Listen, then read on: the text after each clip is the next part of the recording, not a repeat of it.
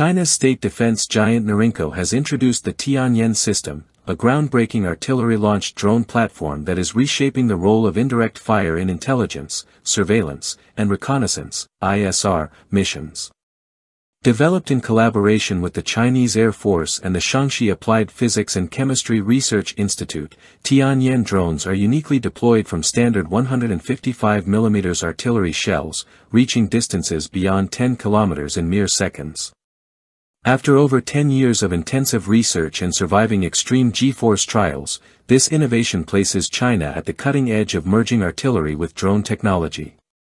Tianyan represents more than a technical milestone, it heralds a novel combat paradigm that integrates firepower with autonomous and expendable drone assets. By utilizing existing artillery as a delivery mechanism for drones, Norinco and its partners have devised a cost-effective, stealthy, and rapid method to deploy ISR capabilities deep into contested zones, bypassing many vulnerabilities that conventional unmanned aerial vehicles face. This system falls within a new class of unmanned platforms designed to be fired directly from artillery tubes. Specifically tailored for 155mm caliber weapons, the drone is enclosed in a robust stainless steel capsule engineered to withstand launch stresses exceeding 1,100 megapascals and acceleration forces up to 36,000 Gs.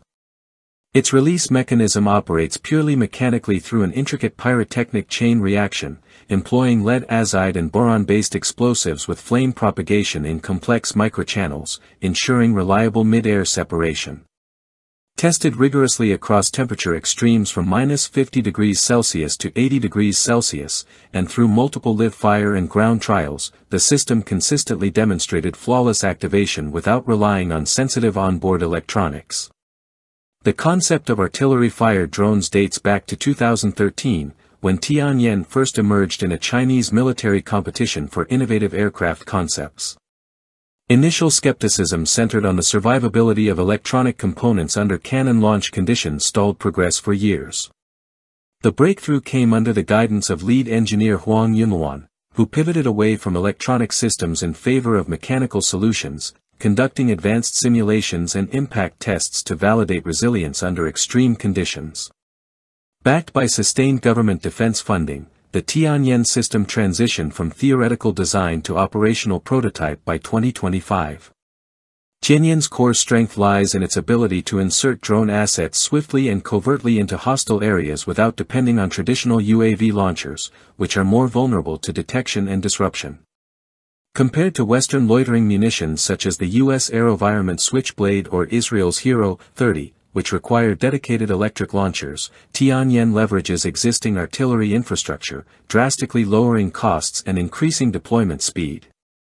Its mechanical launch design also outperforms legacy Soviet tube-launched drones or mortar-deployed payloads by achieving higher velocity, altitude, and durability during launch while avoiding the fragility of onboard electronics in the critical initial phase. Strategically, Tianyan fits into China's doctrine emphasizing multi-domain warfare, operational flexibility, and electronic warfare resilience. It allows near-instant ISR asset deployment deep into adversary rear areas, impacting potential flashpoints like the Taiwan Strait, South China Sea, and border zones.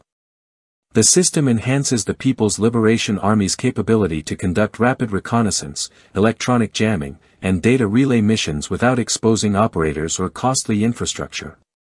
Additionally, its capacity for saturating contested zones with expendable drones complicates enemy defenses and facilitates real-time targeting for precision artillery and missile strikes. Although no formal procurement contract has been disclosed, military analysts anticipate Tianyan's integration into PLA modernization programs, given Norinco's dominance in ground systems and the Air Force's direct role in development. The system's compatibility with existing 155mm artillery rounds and electronics-free design promise significant cost advantages, making it suitable for large-scale deployment and potential export markets. Under China's 15th five-year plan, funding may prioritize artillery drone convergence, with Tianyan positioned as a flagship technology in this evolving warfare domain. Ultimately, Tianyan is not merely a technological innovation, it signifies a transformative approach to combat, combining precision firepower with autonomous drone deployment.